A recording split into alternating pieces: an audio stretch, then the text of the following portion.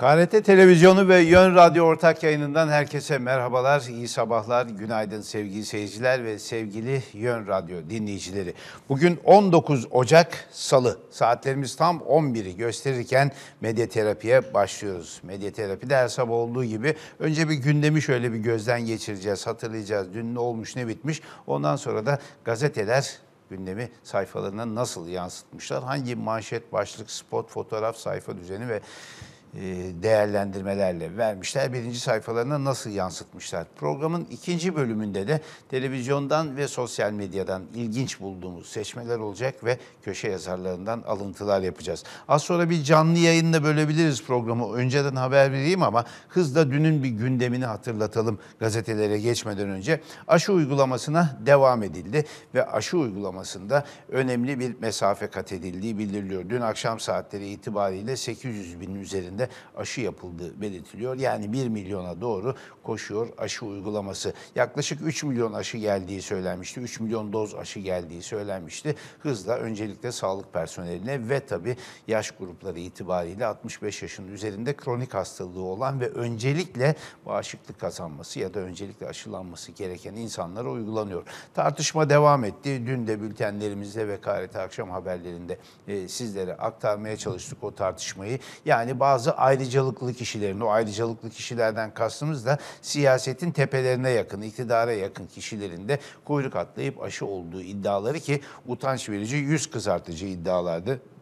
Bunların da bir şekilde kınanması gerekiyordu ama devletin tepelerinden bu konuda en ufak bir e, rahatsızlık belirtisi gelmedi. Ne olmuş canım iktidarda beciz aşıyı da tabii ki biz öncelikle yapacağız gibi bir pişkin tavır içine girmeleri de gözden kaçmadı. Ama aşı uygulaması devam ediyor ama bir yandan da tabii daha fazla doz getirilmesi, daha fazla insanın aşılanması şart ki bir toplumsal bağışıklık oluşsun. En az Türkiye'ye 120-130 milyon doz aşının gelmesi gerekiyor. Yani bu ne demek? 60-65 milyon kişinin ikişer doz e, aşılanması anlamına geliyor ki önümüzdeki dönemde bunun hızla sağlanacağına ilişkin bir işaret yok. Ama aşıysa aşı, getirdiyse getirdik, uygulamaysa uyguluyoruz işte. Daha ne istiyorsunuz gibilerden bir rahat tavır içinde görülüyor Türkiye'yi yönetenler maalesef. Bir yandan da medyaya baktığımızda özellikle iktidar yandaşı medyaya baktığımızda geçtiğimiz bir buçuk aylık süre içinde alınan önlemlerin ve kısıtlı da olsa bazı sokağa çıkma yasaklarının işte hafta sonlarında uygulanan kapanmanın etkisini önemli ölçüde gösterdiğine ilişkin bir hava, bir algı oluşturuluyor. Nereden oluşuyor bu? İşte Sağlık Bakanlığı'nın açıkladığı ve baştan beri hiç kimsenin güvenini sağlayamayan, hiç kimseyi e, inandıramayan o verilerde hasta sayılarının, vaka sayılarının düştüğü yolunda bir izlenim uyandırılıyor ama ölüm e, sayıları hala devam ediyor. 24 binin üzerine çıktık ölüm sayılarında Mart ayından bu yana. O da tabii inandırıcı bir sayı değil. Biliyorsunuz belediyelerin kendi her gün ölen insan sayısının içindeki bulaşıcı hastalıktan ölenlerin oranı e, bunu yalanlıyor. Yani o sayıların çok üzerinde bir sayıdan söz ediyoruz. Dolayısıyla yandaş medyada şimdi yavaş yavaş işte hasta sayıları düşüyor artık açılabiliriz. Onun böyle ön hazırlıkları yapılıyor. İşte okulları açalım, AVM'leri açalım, restoranları açalım, bilmem nereleri açalım. Bak hafta sonlarında kayak merkezlerinde şimdi kar yağıyor, yazık günah. O kadar kar boşa mı gitsin, insanlar gitsinler, kayak yapsınlar, efendim e, eğlensinler. O kadarcık da hoş görün diye. İktidar Partisi orada burada kalabalık hınca hınç salonlarla kongreler yapıyor. İl kongreleri, ilçe kongreleri yapıyor. Oralarda insanların bir araya gelmesi, iki tane e, insanın bir kafede bir araya gelip müzik çalıp eğlenmesinden çok daha mı öncelikli ya da orada mikrop geçmiyordu öteki tarafta mı geçiyor? Eğer kapanacaksak, bu pandemiyle baş edeceksek ve bulaşı önlemeye çalışacaksak her yeri kayıtsız ve koşulsuz. Efendim iktidar partisinin kongresi, muhalefet partisinin bilmem ne toplantısı, öteki tarafta parti, bir iki tarafta kayak e, merkezi diye ayırt etmeden bu önlemleri harfiye, e, harfiyen uygulamamız gerekiyor. Onu da az sonra gazeteleri okuduğumuzda neden bahsettiğimi anlayacaksınız. Özellikle manşetlerden, başlıklardan. Bir de siyasette bu Ee, geçen hafta e, Perşembe Cuma günlerine damgasını vuran hafta sonundan bu yana da tartışılmakta olan ama bir yandan da üzeri kapatılmaya çalışılıyor intibağı uyandıran terör saldırılarından söz ediyoruz. Evet ben bunun adını terör saldırısı koyuyorum. Hani ağızlarını her açtıklarında uçan kuşa bile sen teröristsin, uçan sineğe bile vay terörist vay diye terör lafını ağızlarından düşürmeyenlerin çeteler aracılığıyla, eli sopalı silahlı magandalar aracılığıyla kendileri gibi düşünmeyen, kendilerini eleştirenlerin üzerine o alçakça, e, azgınca teröristleri salmalarından söz ediyoruz. Şun, şimdi kimse üstlenmiyor o teröristleri. E peki kim nereden çıktı bunlar? Evlerinde oturup ya falanca gazetecinin ben yazdığını beğenmiyorum. Arkadaşlar gelin toplanalım gidip şuna iki tane tokat atalım ya da kafasına sopa vuralım mı diyorlar. Hayır efendim bu topraklarda bu daha önce de yaşandı. 60'larda da yaşandı, 70'lerde de yaşandı, 80'lerde, 90'larda, 2000'lerde de yaşandı. Hala aynı şeyin izleri var. Toleranssızlık ve hazımsızlık ve ötekine karşı hiçbir şekilde onların düşüncelerini kabullenmeyiş ve şiddetle susturmaya çalışmak. Bakın bugün 19 Ocak, 14 yıl önce bugün öğleden sonra İstanbul'un merkezinde Şişli'de bir gazeteci kurşunlanarak öldürüldü. Hrant Dink'ten söz ediyoruz. Agos gazetesinin o zamanki genel yayın yönetmeni. İşte o olay da aynı şeyin tezahürüydü. Ötekine, başkasına, kendisi gibi düşünmeyene, kendinden olmayana, kendi etnik kökeninden olmayana, kendi dininden olmayana, kendisi gibi yazıp çizmeyene, farklı şeyler söyleyene karşı bir nefret ortadan kaldıralım. Gönderin çeteleri, gönderin çapulcuları, gönderin eşkıyayı, gönderin çakalları, vurdurun ensesinden, vurun kafasına sopayı. Ondan sonra bugün gazetelerden birinde e, o söyleyenin adına beni utandıran bir laf vardı. Az sonra hürriyetten okuyacağım o lafı size. Bir muhterem diyor ki iktidar koalisyonunun küçük ortağı Milliyetçi Hareket Partisi'nin yöneticilerinden olduğunu sandığım bir muhterem. Canım üç yumruğun muhabbetini amma uzattınız diyor. Beyefendi üç yumruk dediğin şey terör olayı. Üç yumruk o tarafa atılınca iyi de sizin tarafa gelip yarın öbür gün başkası üç yumruk atsa kıyameti koparırsınız. O da yanlıştır, öteki de yanlıştır. Hiç kimsenin kimseye yumruk atmaya hakkı yok. Söz ne güne duruyor, yazı ne güne duruyor. Biraz toleranslı olun yahu. Birazcık tahammül gösterin aykırı düşünceye. Biraz tahammül gösterin sizden olmayana. Bunun adına ne diyorlar dünya literatüründe? Faşizm diyorlar. Duydunuz mu hiç öyle bir şey? Duydunuz tabii ama hiç kendinize yakıştıramıyorsunuz. Ama biz yakıştırıyoruz bu kafada olanlara. Yani kendisi gibi düşünmeyenin üzerine sopayla, silahla, cebirle, şiddetle giden teröristlerin yaptığına faşizmden başka hiçbir şey denmez. O zihniyete de aynı şey denir. Kar yağışı durdu gibi İstanbul'da en azından durdu ama buzlu böyle neredeyse hani bıçak keser gibi buzlu bir ortamda hareket etmeye, yürümeye, e, oradan oraya gitmeye çalışıyoruz. Aman dikkat edin her yer kaygan sabah gelirken bayağı zorlu koşullara geldik ama hafta sonuna doğru biraz daha soğuk seyredecek hava. E, onu ötesinde de hafta sonunda biraz ısınacağını söyleyebiliriz. Lodos'a dönecek diye. Ama işin bir tek sevindirici var, e, sevinci tar- sevindirici tarafı var tabii. O da e, kar yağışının e, su stoklarını yani barajlardaki su seviyesini birazcık daha böyle kendine getirmesi ve dolayısıyla en azından daha yakın vadede, kısa vadede bir kuraklık tehlikesinin ortadan kalktığına ilişkin e, bir e, belirti oluşması ama bununla kuraklık e, sorununu çözecek değiliz. Çünkü dün de İstanbul Büyükşehir Belediye Başkanı Ekrem İmamoğlu'nun da e, bir merkezin İSKOM işte su koordinasyon e, merkezini açışında söylediği gibi çok daha radikal önlemler lazım ve hep birlikte yani toplumun bütün bireyleri olarak da su tasarrufuna, suyu idareli kullanmaya yönelik bilinci ve farkındalığı geliştirmemiz lazım diyelim ve şimdi geçelim günün gazetelerine.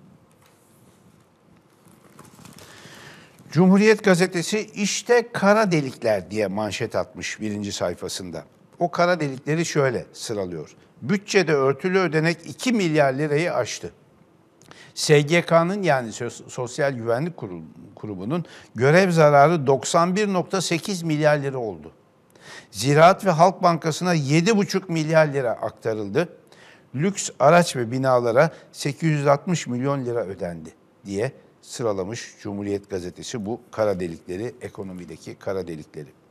Yurttaş 3 kuruşun hesabını yaparken iktidar harcamada salgın dinlemedi. Geçen yıl örtülü ödenek, görev zararları, hizmet alımı ve kiralar için bütçeden milyarlarca lira çıktı. Salgın nedeniyle birçok etkinlik iptal edilmesine karşın temsil ve ağırlama giderleri milyarları buldu. Hadi buyurun buradan yakın. Etkinlikler hani toplu böyle kutlamalar vesaire e, yasaklanıyor ama bir yandan da temsil ve ağırlama giderleri milyarları buluyor. Başlangıç ödeneği 68.1 milyar lira olan mal ve hizmet alımına 83.9 milyar lira harcanmış. Halkın eksi 5 derecede ucuz sebze ve meyve için uzun kuyruklar oluşturduğu, maaşının büyük bölümünü gıdaya ayırmak zorunda kaldığı ülkede devletin toplam harcaması 84 milyar liraya yaklaştı tüketime yönelik alımlar için 32.6 milyar TL olan başlangıç ödeneği aşılarak 43.7 milyar TL harcama yapıldı. Şimdi bu kara delikler içinde benim en çok üzerinde durmak istediğim ve benim en çok kanımı donduran şey şu örtülü ödenek meselesi. Demokrasilerde hiçbir şeyin üzerinde örtü olmaz. Bir iki istisna hariç. Nedir? İnsanların hangi partiye oy verdiğini sorgulayamazsın. O gizlidir sandığa attığım oyu soramazsın. O örtülüdür, evet. Orada bir örtü olur. Yani fikrini, görüşünü, ideolojisini açıklamaya zorlanamaz insanlar. Sadece kendi isterse onu beyan eder. Ben şu partiye oy veriyorum der ya da soramazsın kime oy verdin diye. İki, dini, vicdani görüşleri. Hangi dindensin, hangi mezheptensin, neye inanırsın, neye inanmazsın, neye taparsın, neye tapmazsın, hangi kitabı okursun, hangi dinin peşinden gidersin. Bunu da kimseye soramazsın ve kimseye empoze edemezsin. Üç, ülkenin gizli askeri planları olur. Savunma planları olur, saldırı planları olur, gizli askeri sırları olur. Bunun dışında hiçbir şey demokrasilerde, kayıtsız ve koşulsuz söylüyorum, hiçbir şey gizli olamaz, üstü de örtülü olamaz. Efendim Cumhurbaşkanlığının örtülü ödeneği, böyle bir saçma şeyi ben kabul etmiyorum. Başbakanlığın örtülü ödeneği, böyle bir saçma bir şey olamaz. Babanın evinde mi yetiştiriyorsun o parayı? Arka bahçendeki ağaçta mı yetişiyor o para? Benim vergilerim o. Benim verdiğim vergilerle nereye kaç kuruş harcadığını ben bileceğim. Sorduğum zaman cevap vereceksin. Bu kadar net bu iş. Bu kadar net. Örtülü ödenek diye bir şeyi ben demokrasilerde kabullenemiyorum. Efendim ben harcarım, istediğim gibi bir yerlere harcarım. Otomobil alırım, bilmem ne alırım, silah alırım, e, bilmem işte davet veririm, balo veririm, parti veririm, istediğimi tayyarelere bindiririm, istediğim yerlere götürür dolaştırırım. Hayır yapamazsın efendim. Kuruşu kuruşuna hesabını vereceksin. Bağış topladığınız şehitler için onu bile e, gizliyorsunuz ya. Onun bile hesabını vermiyorsunuz. Böyle büyük bir terbiyesizlik olur mu? Bunun adı terbiyesizliktir. Vatandaşla alay etmektir. Vatandaşa hakaret etmektir. Örtülü ödenek diye bir şey kabul edilemez. Benim elimde yetki olsa bir anayasa metni hazırlamak durumunda kalsam örtülü kelimesini yasaklarım. Hiçbir anayasada demokrasiyle yönetilen ülkelerde örtü diye bir şey olmaz. Örtü bir ayıbın gizlenmesidir. O kadar net söylüyorum. YÖK yargıçları ayağına çağırmış diye bir haber var Cumhuriyet Gazetesi'nde. Denklik davası görülürken istinaf mahkemesi heyetine briefing verilmiş diye. Haberin detayı şöyle. Seyhan Avşar imzasını taşıyan bir haber bu. Yurt dışında eğitim görüp Türkiye'de denklik sorunu yaşayan 35 bini aşkın genci ilgilendiren bir dava sürecinde skandal yaşandığı ortaya çıktı. Yerel mahkemede kazanan öğrenciler bir bir bozma kararı veren Ankara Bölge İdare Mahkemesi 4. İdare da İdari Dava Dairesini aşamadı. YÖK'ün faaliyet raporunda davaya ilişkin dikkat çeken bir bilgi de yer aldı. Rapora göre YÖK davalara bakan yargıçları ağırlayarak briefing verdi. Görülmekte olan davayı etkileme hamlesinin ortaya çıkmasının ardından YÖK ilgili bölümü rapordan çıkardı. Bakın hakimleri ayaklarına çağırmışlar. YÖK Yani diyor ki ben devletim diyor, hakim kim diyor, gelecek bana diyor teker teker e, ben ona izah edeceğim, anlatacağım diyor. YÖK yargıçları ayağına çağırmış. Şimdi geçmişte başka e, kamu e, kurumlarının yargıçları ayağına çağırdığı ve briefing verdiği haberlerini hatırlıyorum da şimdi bana hatırlattırmayın onu. Hakim kimsenin ayağına gitmez. İşte gitmiş. Hakim herkesin ayağına gidiyor. Hakim gidiyor çay bahçelerinde birlikte çay kesiyor. Hatırlatayım mı onları? Hakim gidiyor, savcı gidiyor düğünlerde Haşmetluların önünde e, ağırlanıyor. Hakim gidiyor özel davetlerde ağırlanıyor. Hakim gidiyor özel briefingler e, alıyor YÖK'ten. Şimdi bunları hatırlattıktan sonra hiç kimse kalkıp da efendim 28 Şubat'ta şunu yaptılar bunu yaptılar demeye kalkmasın mahcup olurlar.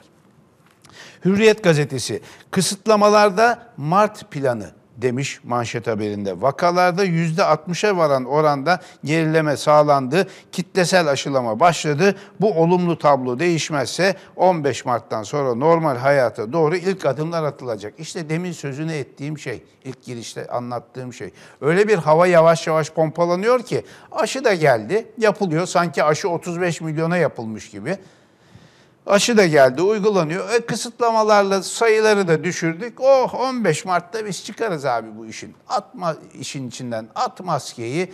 Bilmem e, başta dolaşmaya. Zaten yavaş yavaş sömestr tatilinde ya şu kayak merkezlerini şey yapalım, açalım. Çoluk çocuk gidip orada biraz kayalım, eğlenelim, kar topu oynayalım falan yapmayın beyler. Bugüne kadarki bütün başarıları, bütün kazanımları ve tabii o kazanımlar elde edilirken yitirilen hayatları silip elinizin tersiyle bir yere, e, bir kenara atmak olur. Yaygın bir aşı uygulaması başlamadan ve gerçekten sıkı kısıtlamalarla o bulaş kat sayısını birin altına düşürmeden hiçbir yere açamazsınız. Açmamanız lazım. Bir değerli birim kurulu e, üyesi Profesör Doktor Serap Şimşek hanımefendi de önceliğimiz okulların açılması demiş. Yani bilim kurulu üyesini de kendilerine şey gösteriyorlar. Bir gerekçe, bir tanık gösteriyorlar. E bakın Serap Hoca da açabiliriz gibilerden bir laflar etti diye onun yolunu yapıyorlar. Son derece tehlikeli eğilimler bunlar. Bu ülkede tatlı su demokratları var diye Sayın Cumhurbaşkanı dün e, uzaktan işte video konferansla katıldığı e, AKP kongrelerinden e, kongrelerine hitaben yaptığı konuşmada böyle bir e, kelam etmiş. Nur Vergin ünlü bir e, sosyolog hocamız Profesör Doktor Nur Vergin 80 yaşında e, evinde ölü bulunmuş. Yani ses çıkmayınca Nur Hoca'dan gitmişler kapısını çilingir yardımıyla açmışlar ve cesediyle karşılaşmışlar. Allah rahmet eylesin diyoruz. Çok değerli bir bilim insanını kaybetmişiz e, bu haberden anlaşıldığı üzere. Perşembeye kadar soğuk diye bir e, başlıkla dikkat çekiyor İstanbul'da. Daha sonra yağışlar doğuya kayacakmış. Shell geçen yıl en çok çiğ köfte sattı bir benzin e, istasyonları zincirinde işte bu yiyecek içecek satışları da var ya en çok çiğ köfte satılmış. Son derece enteresan bir haber. Yani gidiyorsun benzin alıyorsun, içeride parayı ödemeye gireceksin. Ya ne alalım? Bir çiğ köfte aklına gelmiş milletin ya da en çok çiğ köfte gelmiş akıllarına. E, çiğ köfteli dürüm, sandviç ve kahve satılıyormuş. Bu ne çiğ köfte aşkıdır ya. Hayatta ağzıma koymadım ama yani tabii insanların da böyle tutkuları var demek ki. Efendim Sözcü gazetesi 662'de sıfır diye bir başlık atmış. Neyi kastediyor açacağız şimdi. Geçen yıl muhalefetin hiçbir teklifi Türkiye Büyük Millet Meclisi'nde muhalefetin verdiği yasa tekliflerinden hiçbiri kabul edilmemiş. Bakın emeklinin bayram ikramiyesi 1500 liraya yükseltilsin. 1000 lira ikramiyemiz var ya reddedilmiş. Asgari ücretteki vergi kesintileri tamamen kaldırılsın. Red. Öğretmen, polis, hemşireye 3600 ek gösterge verilsin. Red. Emeklilikte yaşa takılanların sorunu çözülsün. Red. Emekliler arasındaki adaletsizlik intibakla giderilsin. Bunlar toplumun çok geniş kesimini ilgilendiren yasalar hepsi reddedilmiş. Kim? AKP, MHP. Adalet ve Kalkınma Partisi, Milliyetçi Hareket Partisi bu toplumun bu kadar geniş kesiminin işine yarayacak yasaları reddediyor. Doğal gaz ve elektrikteki KDV %18'den %1'e indirilsin. Red. Pandemi nedeniyle esnafın vergi SGK borcu silinsin. Red. Üniversiteye giden öğrencilerin kredi yurtlar kurumu borçları silinsin. Red. Öylesinler namussuzlar. Sözleşmeli öğretmen uygulaması derhal kaldırılsın. Red. Kadına işleyen şiddet suç, e, işlenen şiddet suçlarına cezalar artsın, artmasın, daha çok şiddet uygulasınlar kadınlara. Efendim Covid-19 sağlık çalışanları için meslek hastalığı sayılsın, sayılmasın, ölsünler. Televizyon, bilgisayar ve tablette KDV ve ÖTV kaldırılsın. Ne kaldıracağız? Alamasınlar. Boş ver. Tableti ne yapacaklar? Hani dün dedi ya Ziya Selçuk, Milli Eğitim Bakanı her her evi sınıfa çevirdik diye. Ya her evi sınıfa çevirmek istiyorsan insanların çocuklarına bilgisayar ve tablet alabilmelerini daha olanaklı, daha kolay hale getireceksin. Bak KDV ve ÖTV kaldırılsın diyenlerin e, verdiği e, tekviyi e, teklifi e, reddetmişsiniz. Evet, e, canlı yayın için şimdi İstanbul'da Kemal Kılıçdaroğlu'nun e, Cumhuriyet Halk Partisi Genel Başkanı'nın apartman görevlileriyle yaptığı toplantıya dönüyoruz. Oraya kulak veriyoruz.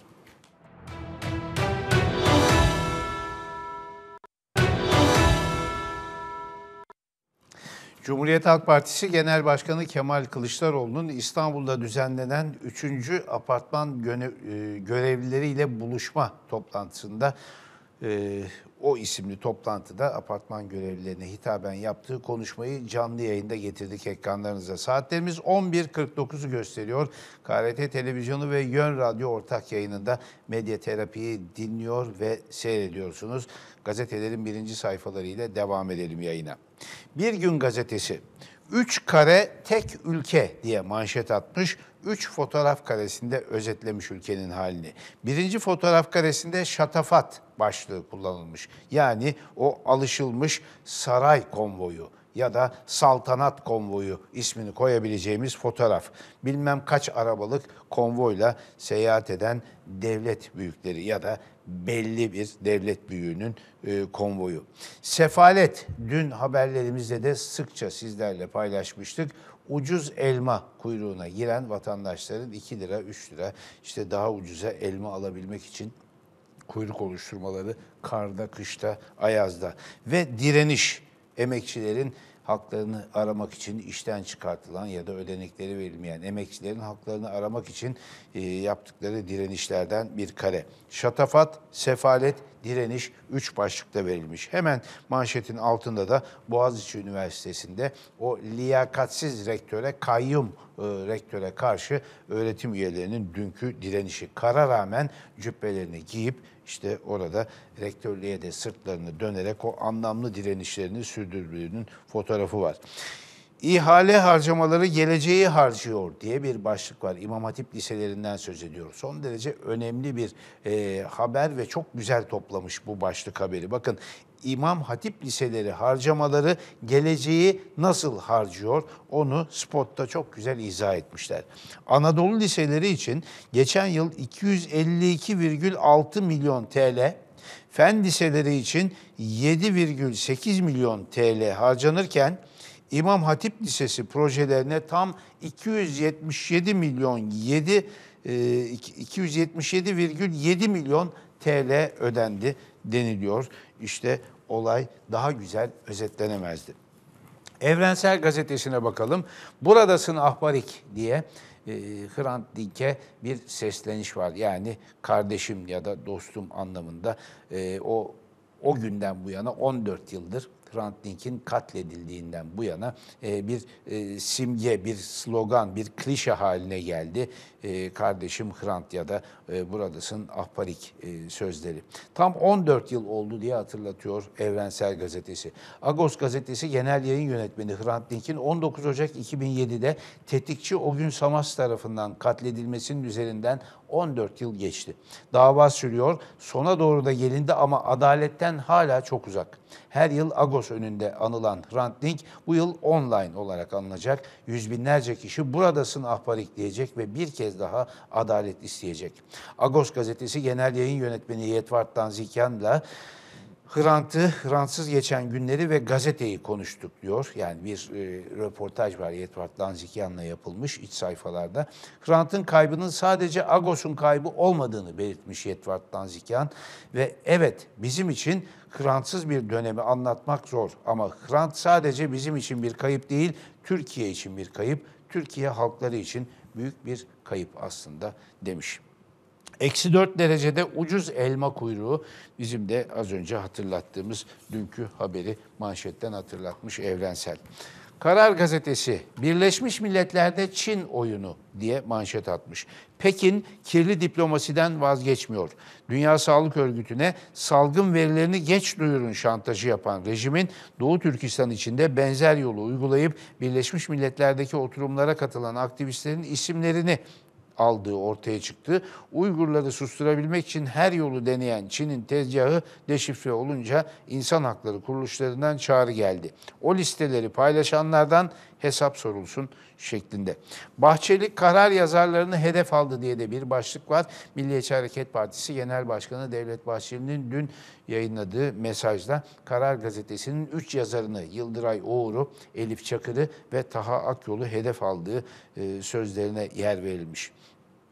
Diyor ki Karar Gazetesi, Bahçeli'nin sözlerine tepki yağdı. İçişleri Bakanlığı tedbir almalı çağrısı yapıldı. Gelecek Partisi'nden İbrahim Turhan, demokrasiden, hukuktan yana olan herkes gazetecilerin yanında derken parti sözcüsü Serkan Özcan da küçük ortak kaos istiyor. Cumhurbaşkanı nasıl bir Türkiye istediğine karar vermeli ifadesini kullandı. Bu arada Deva Partisi Genel Başkanı e, Ali Babacan da tehditle basını susturamazsınız diye o tehditlere e, yönelik bir yazı, e, bir e, demeç vermiş. Bunu da birinci sayfadan kullanmış e, Karar Gazetesi.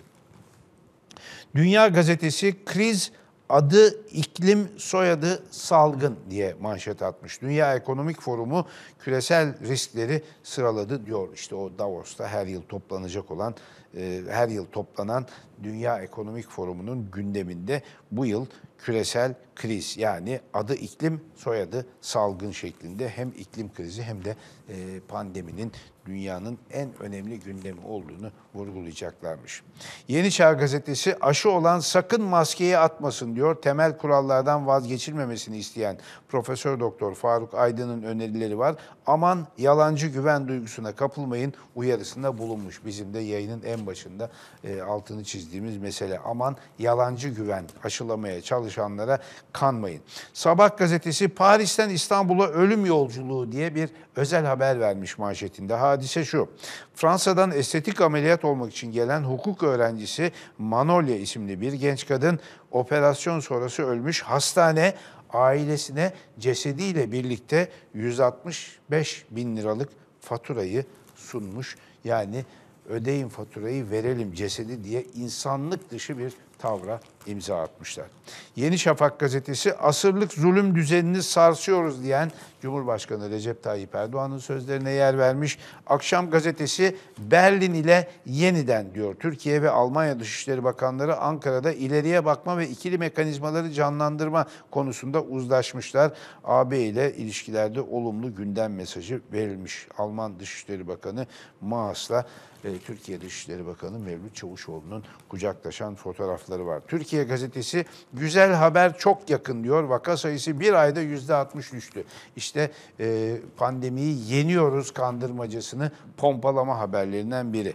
Milliyet gazetesi aşıdan başka çare yok diyor hatırlatıyor. Yani ilaç falan bulunmadı. Şu anki tek çaremiz aşı demeye getiriyor. Posta gazetesi kalpler dondu diyor. 65 yaşındaki Sami Babacan isimli bir şahsın İstanbul'un göbeğinde Kadıköy'de önceki gece sokakta donarak öldüğünü haber veriyor. 2021 Türkiye'sinde. Aydınlık gazetesi masada sincar var diyor. Hulusi Akar'la Yaşar Güler Bağdat'ta temaslarda bulunmuş ve Yeni Akit gazetesi de CHP tecavüzlere 56 gündür sessiz diye Kılıçdaroğlu'na yüklenen bir manşet var. Saatlerimiz 11.56'yı e, gösteriyor. Şimdi bir kısa ara, aradan sonra devam edeceğiz.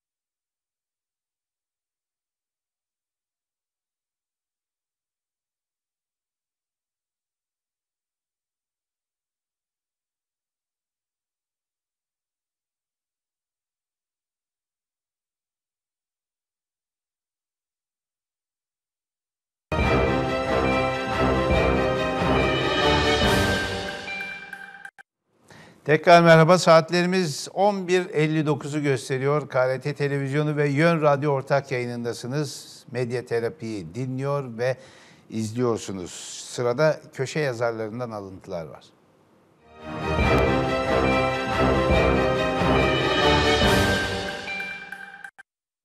Cumhuriyet Gazetesi'nin yazarlarıyla başlayalım. Emre Kongar, askıda aşı ve 65 yaş üstü için öneriler demiş Emre Hoca bugünkü yazısında.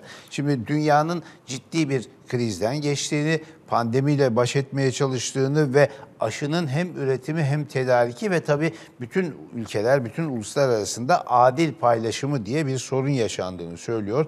Diyor ki aşı konusundaki önemli sorunlardan biri de üretimin yani arzın sınırlı olması ve kullanım izni verilmiş olan bütün aşıların satış bağlantılarının şimdiden yapılmış olmasıdır. Ne yazık ki iktidar zamanında bu bağlantıları yapma fırsatını kullanamamıştır. Sonuç olarak halkımızın çoğunluğuna devletin ücretsiz olarak aşı sağlayabilmesi planı şu anda belirsizliklerle doludur. Hem elde aşı yoktur, hem aşıların zamanında temini kuşkuludur, hem de sadece Çin aşısına yani tek kaynağa bağlı, e, tek kaynağa bağımlılık ülkenin manevra kabiliyetini sınırlamaktadır diyor. Üstelik maske dağıtımında yaşanan olumsuzluklar da iktidarın aşı temini ve dağıtımı becerisi hakkındaki kuşkular yaratmıştır. Önerisi şu Emre Hoca'nın.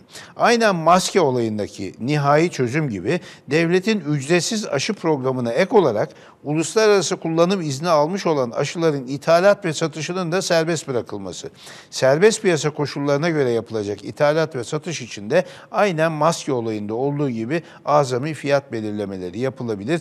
Gelir ve servis eşitsizliklerinden doğacak olan adaletsizliklerde bu konuda yapılacak bağışlara izin verilmesi ve askıda ekmek, askıda fatura uygulaması gibi askıda aşı uygulamasının da teşvik edilmesiyle aşılabilir. Bilemiyorum ne derece hayata geçer ama makul bir öneridir. Diyor ki Emre Hoca, devlet izin versin, özel e, kanallardan da aşı alınıp getirilebilsin. İsteyen parasını verip aşı vursun. E, isteyen de ilave bir para ödeyip askıda aşı kampanyası diye bir şey başlatılsın gücü yetmeyenler de e, gidip oradan işte o askıdan alsın olsun diyor. Olabilir ama hani dünyanın tedarik zincirinden bunu temin etmek de mümkün mü ondan da emin değilim. Yani koskoca devlet de bunu alamıyorsa e, tek tek şahıslar ya da ne bileyim ithalatçılar bunu nereden bulacak da yeteri miktarda alacak bilemiyorum. Ama çok kısıtlı bir ihtiyacı giderebilir herhalde. Özdemir İnce AKP'nin Müslüman kardeşlik çıkması diye yine son derece böyle bilimsel çözümlemelerle dolu bir bir yazı yazmış. Ali Silmen Trump teselli mi şeklinde bir yazı e, kaleme almış bugün. Diyor ki Trump siyasete atılınca sözcüsü olduğu kesimlerin Amerika'yı yeniden büyük kılmak adına tüm toplumsal değerleri bir yana iterek kaba, saldırgan, her yerde düşman arayan, kendinde her şeye hak gören, eğitimi ve yeteneğiyle ters orantılı yüksek bir özgüvene sahip, paranoyak, megaloman bir tip ile ortak noktayı çoktan bulmuştu bile. Bu Uğur Mumcu'nun çok güzel tarif ettiği bilgi sahibi olmadan fikir sahibi olan kerizin söylemiydi. Kerize Amerikalılar kaybeden anlamında loser diyorlar. Ezilmiş, horlanmış, bir köşeye atılmış ama yeteneğine bakmadan kendinde her hakkı gören loser ya da Türkçe adıyla keriz kendi görüşlerini ve davranışlarını yansıtan siyasetçiyi buldu mu bütün ezikliğinden sıyrılıp hayat bulmakta ve onun peşine düşmektedir. Kimi siyasetçilerin sahip oldukları bu tür kitleleri peşine takma yeteneğine de kerizma deniyor. Bu olguyu saptarken bir gerçeği de atlamamak lazım.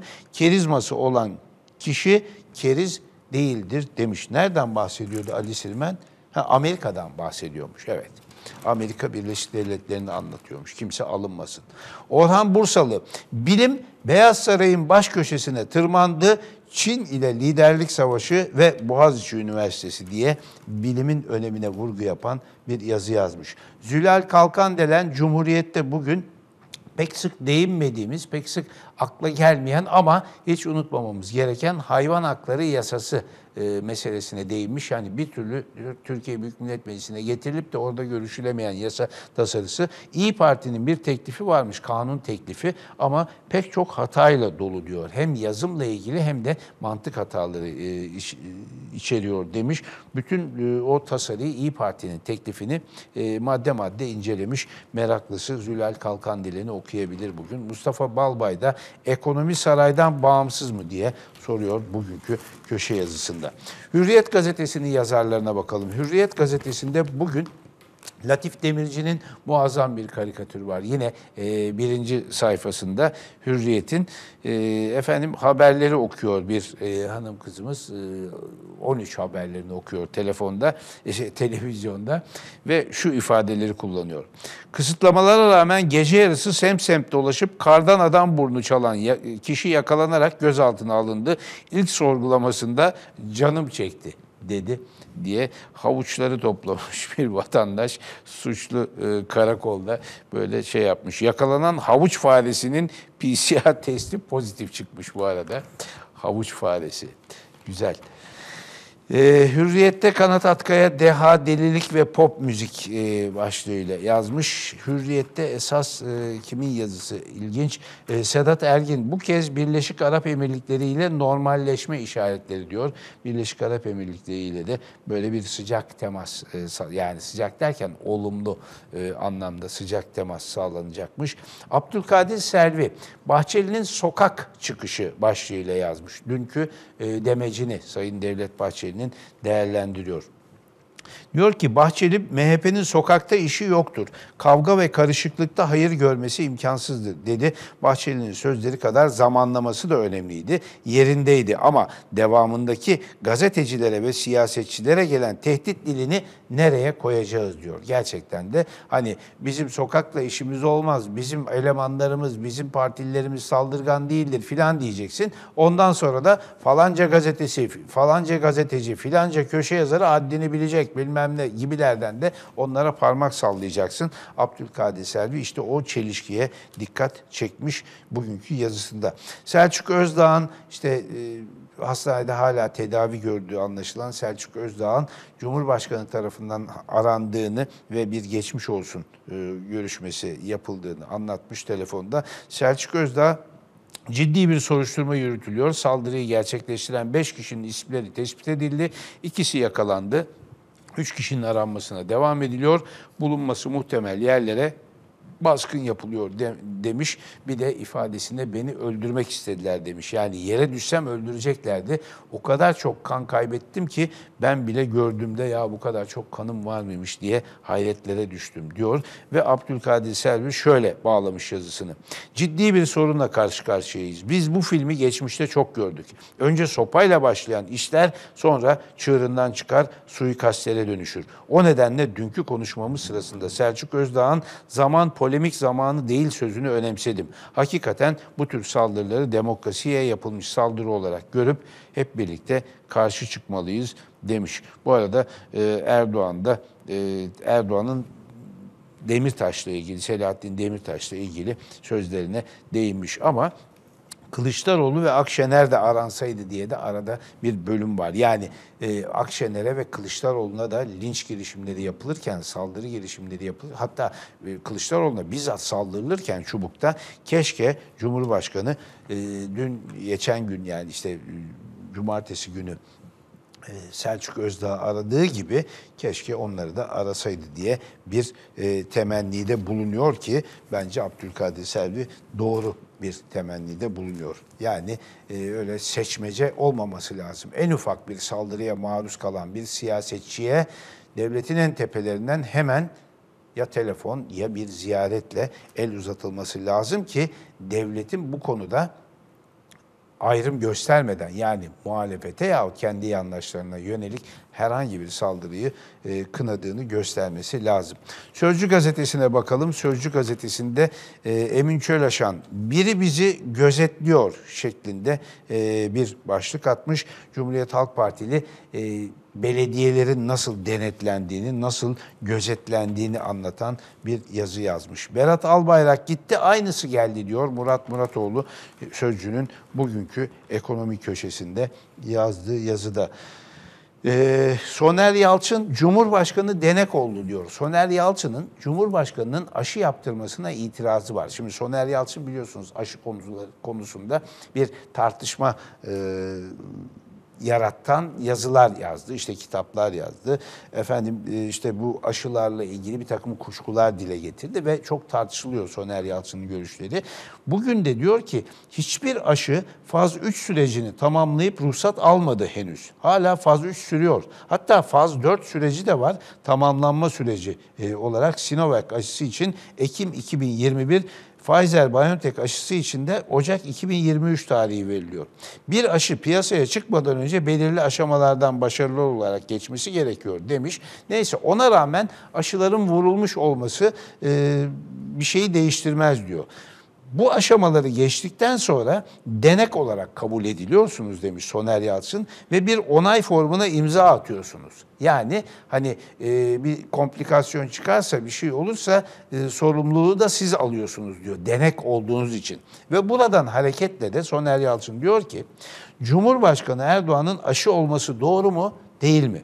Erdoğan'ın değil Cumhurbaşkanının aşı olması tartışıldı. Erdoğan kişi olarak, parti lideri olarak denek olmaya gönüllü olabilir ya Cumhurbaşkanı olarak diye sormuş. Yani Türkiye Cumhuriyeti'nin Cumhurbaşkanı'nın e, denek olmasını kabullenmek istemiyor ya da kabullenmiyor e, Soner Yalçın. Bence bu yazıda e, epey tartışılı, tartışmaya e, aday bir yazı olabilir. Karar Gazetesi'nin yazarlarına bakalım şimdi. Karar Gazetesi'nin yazarlarına niye bakmak istiyorum? Çünkü dün Devlet Bahçeli, e, Milliyetçi Hareket Partisi Genel Başkanı 3 karar yazarını Yıldıray Oğur'u, Elif Çakır'ı ve Taha Akyol'u bizzat ismen hedef gösterme anlamında bir demeç verdi. Şimdi Yıldıray Oğur'un bugün köşesi yok, Elif Çakır'ın da yok anladığım kadarıyla. Ben Karar Gazetesi'nden belki gazete olarak da ya sen ne diyorsun bizim yazarlarımızı nasıl tehdit ediyorsun, parmak sallıyorsun diye bir tavır bekledim. Ama birinci sayfada öyle bir şey yok, öyle bir tavır yok. Ee, Bahçeli karar yazarlarını hedef aldı diye bir e, küçük haber var kenarda. Ama Taha Akyol bir yazı yazmış bugün.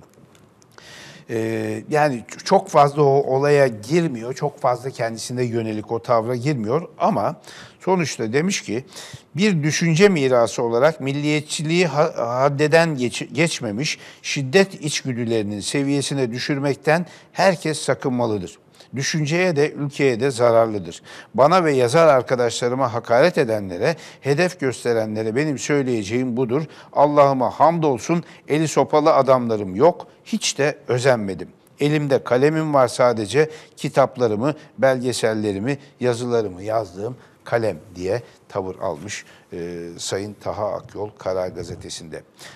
Taha Akyol'u hani gençler belki tanımayabilir. Geçmişte Milliyetçi Hareket Partisi'nin saflarında yani Alparslan Türkeş'in lideri olduğu Milliyetçi Hareket Partisi'nin saflarında siyaset yapmış, gazetecilik yapmış ve 12 Eylül 1980 sonrasında da Türkeş'le birlikte MHP'li e, MHP davasında da yargılanmış bir eski siyasetçi kendisi. Akif Beki de Karar Gazetesi'nde muhalefeti kim dayaktan geçiriyor diye bir yazı yazmış. Diyor ki ee, Ömer Çelik dışındaki AK Parti ve Cumhurbaşkanlığı sözcüleri de saldırıları kınadılar. Sorumluların adalet önüne çıkarılacağına söz verdiler. İktidarın bu seferki tepkileri başlangıç için hayra alamet. Çubuk'ta linç edilmekten ve diri diri yakılmaktan canını zor kurtardıktan sonra Kılıçdaroğlu'na dedikleri gibi mağdurlara uğradıkları saldırının suçunu kendilerinde aramaları yine söylenmedi. Saldırganlara hak verilmedi bu kez. Geriye tanık olduğumuz bu organize siyasi şiddeti bütün arka planıyla aydınlatmak kaldı. Ve azmettiricileri dahil bütün karanlık bağlantılarını ortaya çıkarmak, tahrik ve teşvik edenlerle birlikte bütün faillerini yakalayıp adalete teslim etmek lazım diyor. Çare saldırganların korunmadığını göstermektir diye bir ara başlığı da var Akif Pekin'in ve devam ediyor. İktidarı haksız zan ve töhmet altında kalmaktan kurtaracak olan saldırıların tüm bağlantılarıyla aydınlatılması ve hiçbirinin cezasız bırakılmamasıdır. yasak sağmaya dönük e, göstermelik soruşturmalarla savuşturulacak, savsaklanacak gibi değil demiş. Evet, bugünlük bu kadar köşe yazarına vaktimiz kaldı. Canlı yayın tabii araya girdiği için. Bir fotoğrafla noktalayalım. Şimdi liderler aşı yaptırıyorlar ya, işte e, omuzunu gösterdi, işte açtı, işte farklı bir kıyafet giydi, omuzunu göstermedi diye Yunanistan Başbakanı biraz daha ileri gitmiş omuzunu değil daha fazlasını göstermiş. Bu da Yunanistan'da bayağı tartışmalara yol açmış bir fotoğraf ama yani neresinden bakarsanız bakın bir başbakan için bayağı hani cesur bir poz magazin gazeteciliği tabiriyle onu da sizlerle paylaşmış olalım Yunanistan'ın Sayın Başbakanını. Saatler 12.15'i gösteriyor medya terapiye burada nokta koyuyoruz. Yarın sabah 11'de yine medya terapide buluşalım. Akşam da 18.30 haber randevumuzu unutmayın. İyi günler.